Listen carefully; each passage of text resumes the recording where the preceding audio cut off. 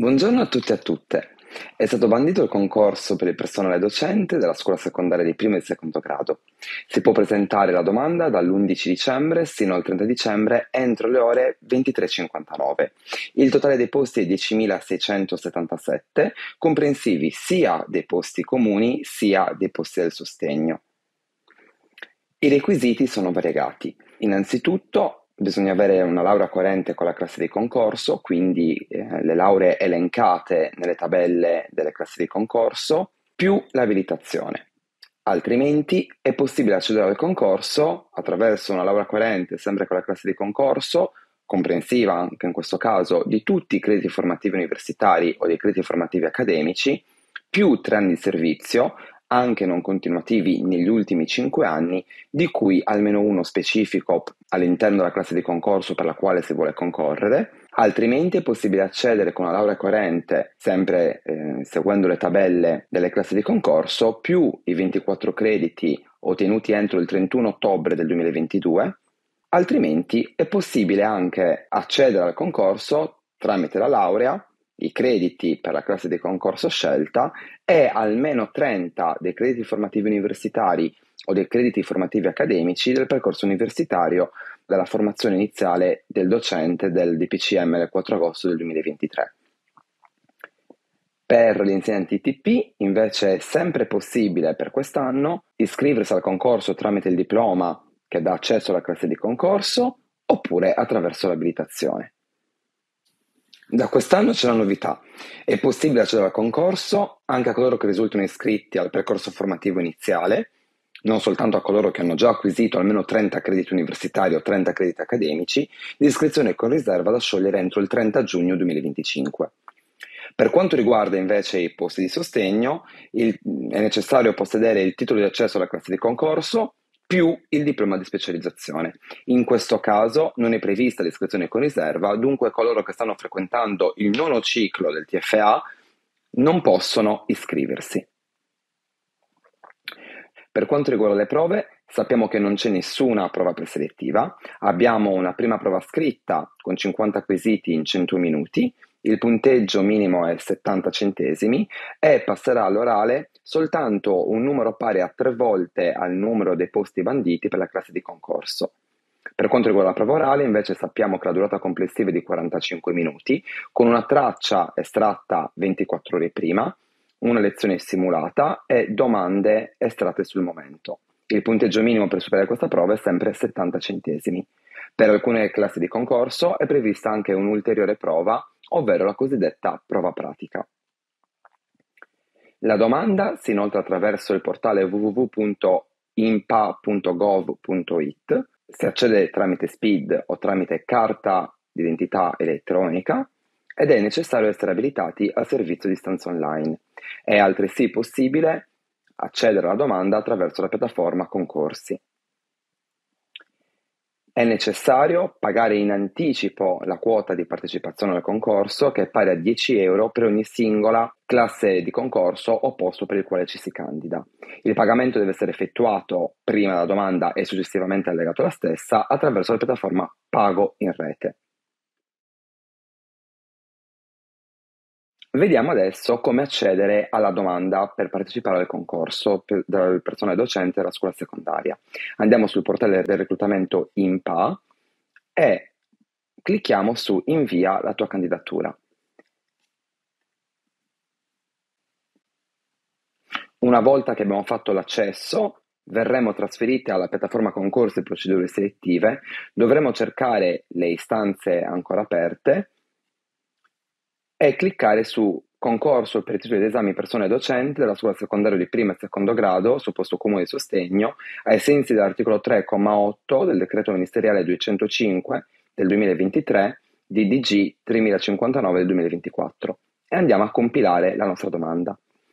La prima cosa da fare è cliccare sull'informativa, quindi scorriamo tutta la pagina sino in fondo e clicchiamo su presa visione. Una volta che abbiamo preso visione possiamo andare avanti sulla scelta della regione, scegliamo una regione di nostro interesse e clicchiamo avanti. Successivamente ci apparirà una schermata con un riepilogo dei nostri dati anagrafici, i nostri dati di recapito e i dati di residenza. Clicchiamo quindi su avanti se i dati sono tutti corretti. Ci appaiono le sezioni. Abbiamo delle sezioni obbligatorie contraddistinte da un asterisco in rosso e delle sezioni invece facoltative. Partiamo dalla classe di concorso e dal titolo di accesso. Clicchiamo su azioni disponibili, scegliamo una classe di concorso e clicchiamo su aggiungi. Nel momento in cui clicchiamo su aggiungi dobbiamo selezionare la tipologia del titolo, quindi potremo selezionare il titolo di studio, titolo di studio abilitazione specifica, titolo di studio 24 CFU, titolo di studio 30 CFU. Nel caso noi avessimo i treni di servizio, utilizzeremo titolo di studio e basta, oppure abilitazione specifica e così via. Ci verrà chiesto qual è il nostro titolo di studio. Quindi selezioniamo il tipo del nostro titolo di studio, quindi nuovo ordinamento magistrale, nuovo ordinamento specialistica oppure laurea vecchio ordinamento. Dobbiamo anche selezionare che il nostro titolo di studio è coerente e costituisce titolo d'accesso alla classe di concorso. Clicchiamo e scegliamo qual è la nostra laurea magistrale o comunque la nostra laurea che ci dà accesso alla classe di concorso. Dobbiamo poi rapportare il voto di laurea in centesimi. Non dobbiamo preoccuparci, basterà inserire il voto di laurea in centodecimi, inserendo la base della votazione centodecimi e automaticamente la piattaforma trasformerà il nostro voto di laurea in centesimi. Inseriamo la data di conseguimento del titolo, il luogo di conseguimento del titolo, ci si aprirà un menu a tendina, noi selezioniamo l'università o l'istituzione presso la quale abbiamo conseguito la nostra laurea e possiamo salvare. Nel caso dovessimo inserire dei titoli congiunti, sono per alcune classi di concorso, dobbiamo utilizzare questa barra di testo presente in basso sulla pagina. Salviamo e torniamo alla schermata iniziale. Se vogliamo accedere anche ai posti di sostegno, dobbiamo eseguire la stessa medesima procedura. Inseriamo la classe di concorso di nostro interesse, clicchiamo su aggiungi, selezioniamo con quale procedura abbiamo ottenuto la nostra specializzazione sul sostegno, la votazione, il luogo di conseguimento della specializzazione, quindi l'università presso la quale si è conseguita, la data di conseguimento, salviamo e poi torniamo alla nostra schermata principale. Andiamo a vedere come poter inserire i titoli di servizio. Clicchiamo su titoli di servizio, selezioniamo la tipologia di servizio, quindi titolo valido ai fini dell'accesso oppure altro titolo di servizio. Ad esempio, inseriamo titoli validi ai fini dell'accesso, tanto è uguale la procedura per tutti gli anni di servizio. Dobbiamo inserire l'anno oh, di servizio, ad esempio 2022-2023, e la tipologia di servizio, quindi nelle istituzioni scolastiche statali, la classe di concorso alla quale abbiamo prestato servizio, se abbiamo prestato il servizio nei percorsi di istruzione dei paesi dell'Unione Europea, quindi se abbiamo insegnato nelle scuole italiane in Italia dovremmo cliccare no. Se abbiamo svolto questo tipo di servizio in ruolo oppure da supplenti, la data di inizio del servizio, ad esempio 0109 eh, 2022, è la data di fine, ad esempio 31-08-2023. Ricordo che l'anno in corso, quindi l'anno 24-25, non è valido ai fini della valutazione. Inseriamo poi la, de- la denominazione della nostra scuola, scegliamo la provincia e inseriamo poi il comune e salviamo.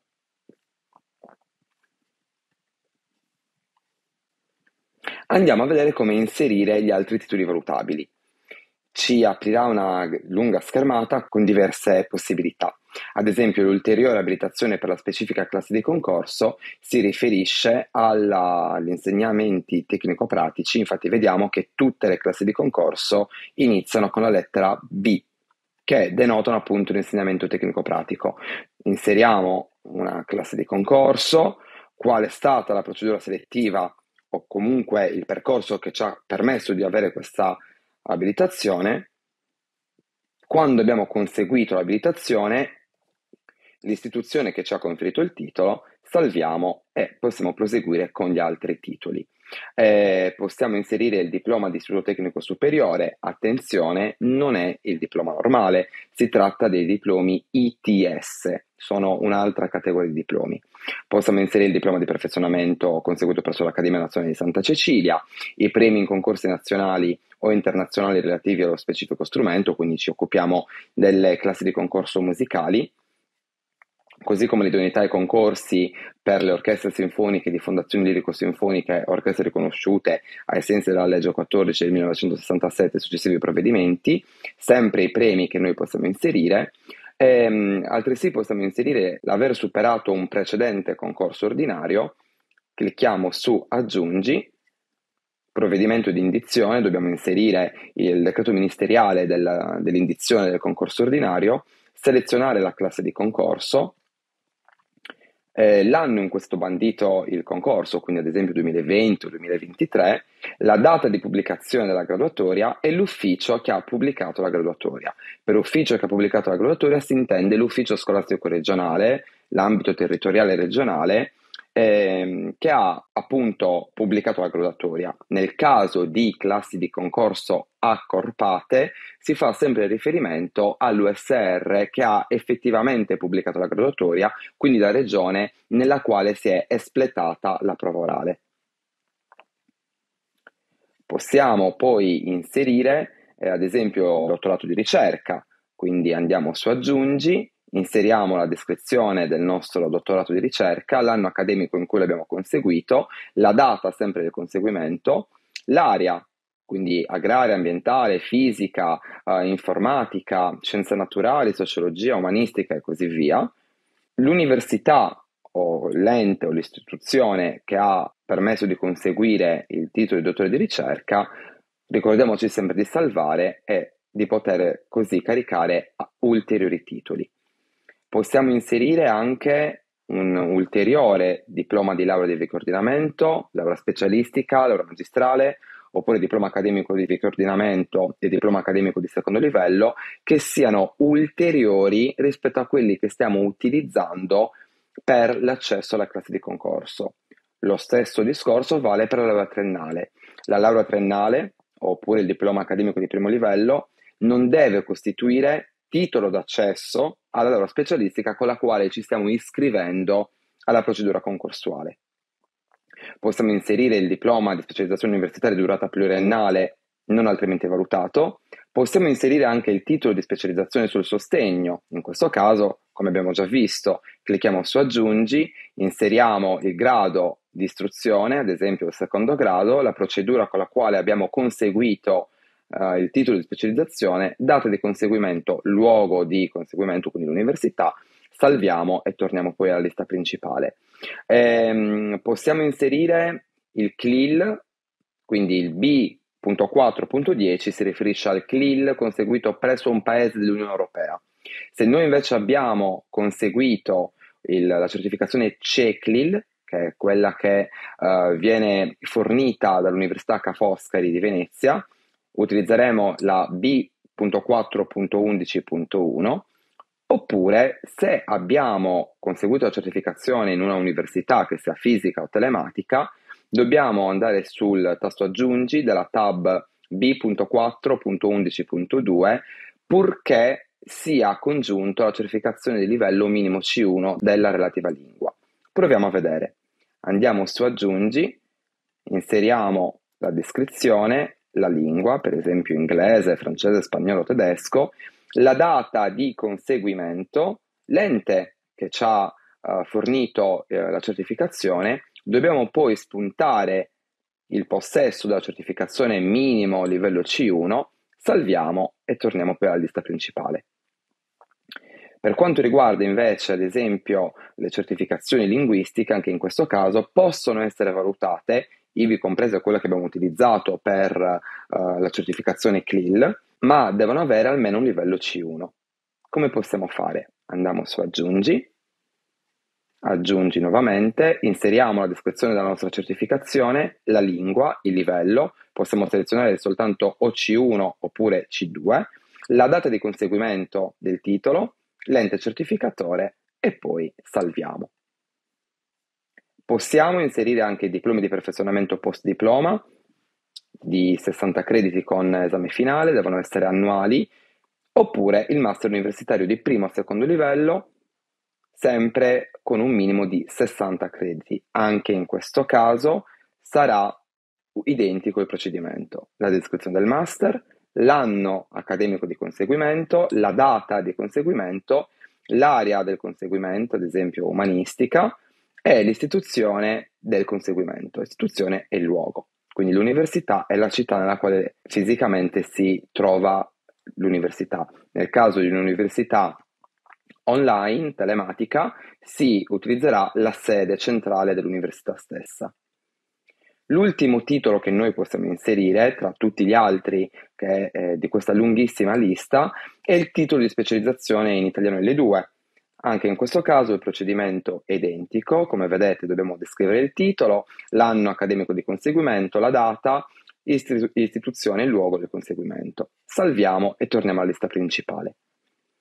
Nella lista principale troviamo le altre sezioni da compilare, ad esempio i cosiddetti titoli di preferenza.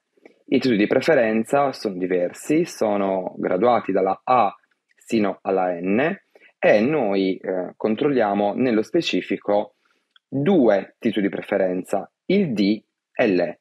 Il D ehm, andiamo a dire che eh, abbiamo prestato un lodevole servizio a qualunque titolo per non meno di un anno nell'amministrazione che ha indetto il concorso. Possiamo selezionarlo se noi abbiamo lavorato almeno un anno e non abbiamo mai ricevuto una nota di demerito dal dirigente. Il Ministero ha chiarito, infatti, con una, con una FAC dell'anno scorso che non è più necessario che il dirigente rilasci su carta intestata un attestato che certifichi il lodevole servizio. Abbiamo poi ad esempio i figli a carico, basterà selezionare la preferenza e inserire il numero dei figli a carico. Poi salviamo e torniamo alla nostra lista principale. Abbiamo adesso i titoli di riserva. I titoli di riserva sono molto delicati Abbiamo diversi titoli di riserva, come vedete, dalla A, B, C, D, E, M, N, P, R, S. Noi ci concentreremo adesso sulla S, ovvero gli operatori volontari che hanno concluso il servizio civile universale senza demerito. Selezioniamo per aggiungere la riserva, dobbiamo inserire l'ente presso il quale abbiamo svolto il servizio civile universale, la data il numero dell'atto, quindi dell'attestato che ci è stato rilasciato, e dobbiamo caricare il certificato. È obbligatorio caricare il certificato. Dunque, se abbiamo già in nostro possesso il PDF, caricheremo direttamente quel file, oppure dovremo scannerizzarlo e successivamente poi allegarlo. Abbiamo poi, ad esempio, la riserva per i volontari in ferma breve o prefissata. Basterà selezionare la riserva inserire l'ente, la data e il numero dell'atto, così come abbiamo già visto. Un'altra riserva è ad esempio l'invalidità civile, quindi selezioniamo sempre l'ente che ha riconosciuto il titolo e quindi l'ha rilasciato, la certificazione, la data e il numero dell'atto. Nel caso noi avessimo selezionato ad esempio invalido civile, potremmo anche compilare la sezione iscrizione nei centri di collocamento. In questo caso soltanto se abbiamo la riserva B, C, D e MNP, che si riferiscono a queste prime riserve. In questo caso, uh, se noi abbiamo il diritto alla legge 6899, possiamo inserire questa riserva, inseriamo la provincia, gli estremi dell'iscrizione all'ufficio di collocamento e poi possiamo salvare.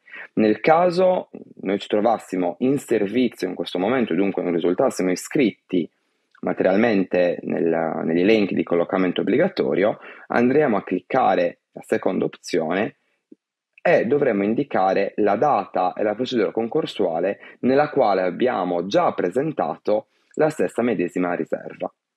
Salviamo e torniamo poi alla lista principale. Altre dichiarazioni.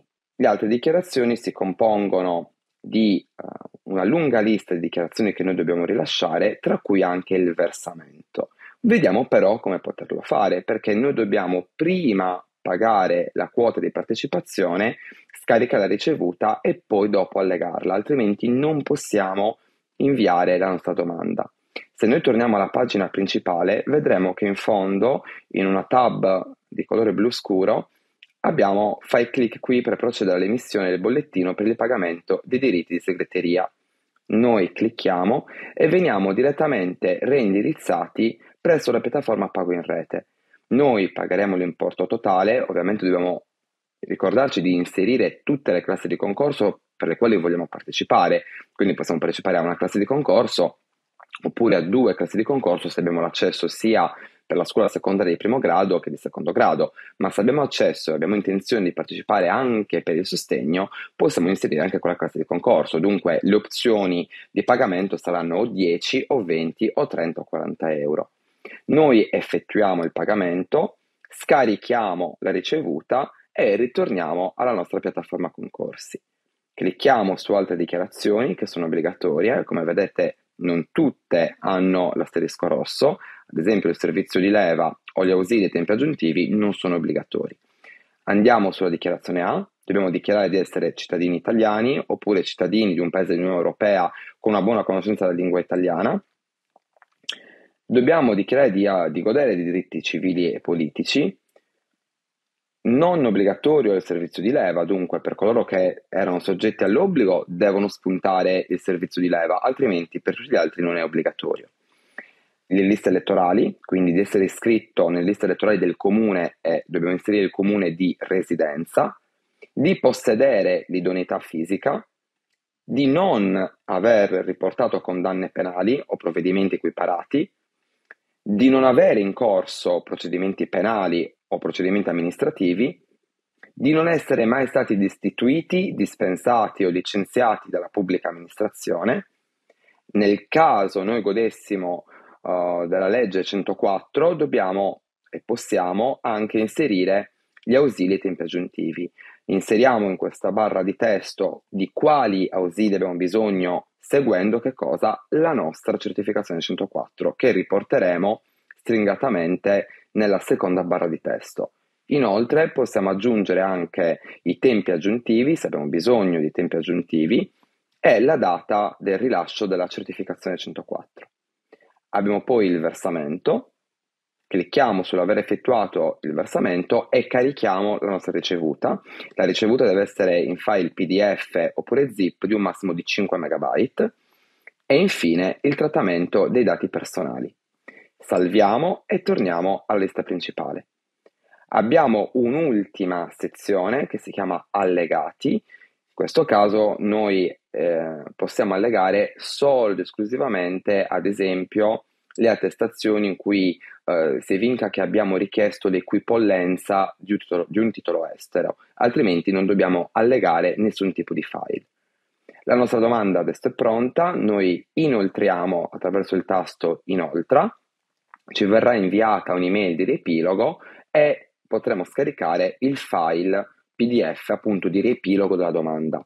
Vi ricordo che è possibile compilare la domanda sino al 30 dicembre, sino alle ore 23.59. Anche una volta inoltrata la domanda, noi possiamo modificarla se ci rendiamo conto di aver commesso un errore o di voler aggiungere qualcosa da valutare e possiamo modificarla ogni qualvolta vogliamo entro la data di scadenza. Questo è tutto, vi auguro una buona giornata.